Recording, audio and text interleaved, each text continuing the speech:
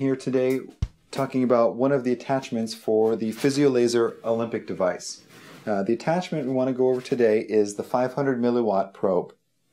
It can take advantage of all the frequencies that the PhysioLaser offers.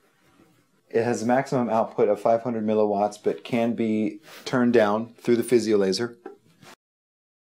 The 500 milliwatt probe, for example, on the shoulder can be used for a lot of structure specific pathologies.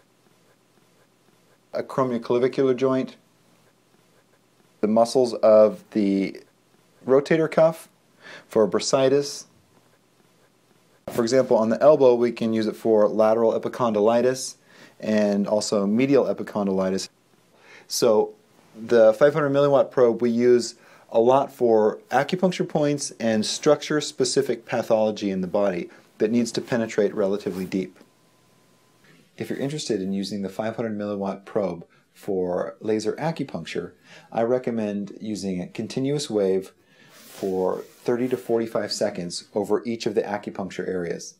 And I found that that gives a relatively strong effect, much more than a needle. If you're looking for a device like this in a more portable form, we have the LaserPen Expert, which is a standalone model, and it doesn't require the PhysioLaser Olympic, and it comes with its own docking station as well. There are a number of different apertures for it, from the very small for ear acupuncture. There also is a slightly larger one for acupuncture points on the body, and then a 10 millimeter aperture for larger structures of the body as well. The wavelength is 810 nanometers, and it works well with the the PolyLaser Trion or the cluster head attachment for the PhysioLaser Olympic. And these we have together in the RJ Laser USA pain package.